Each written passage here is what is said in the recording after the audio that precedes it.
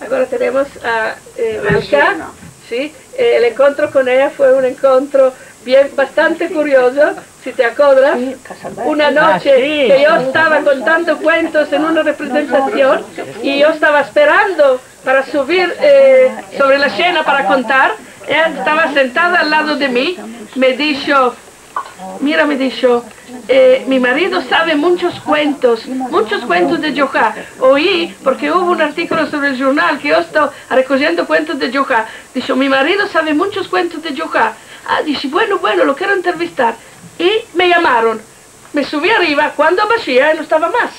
Adiós, la Pedrica, ¿sabe quién es? No la conozco.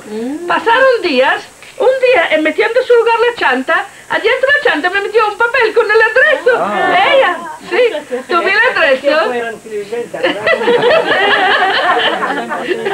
y tuve el adreso, le telefoné y conocí al marido que sabía cuentos y refranes y cantigas y más cuál no sabía. Y me contó tantos cuentos y después eh, nosotros tomamos solo uh, mujeres, hombres no tomamos.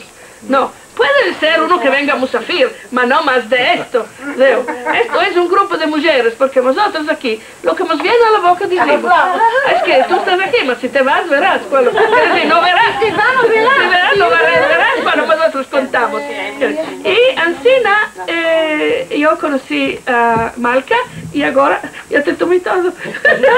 no hay mucho que decir, porque yo no soy ni Yerushalmi ni griega ni turca, yo soy Ben Leumi. yo nací en Grecia, después pasé en Turquía a la edad de 20 años, me casé ahí, estuve final de 1936, no, no, 66, después partí en Francia, porque mi hijo estaba estudiando allá en el seminario, y estuve en Francia 10 años, en 74 hice la alianza en Israel, y de aquello vivo en Jerusalén. Baruch Hashem, tengo un hijo, gracias al Dios, bien casado. Tengo 12 bisnietos. 12? Bisnietos, bisnietos. Una está en el hospital ahora para París.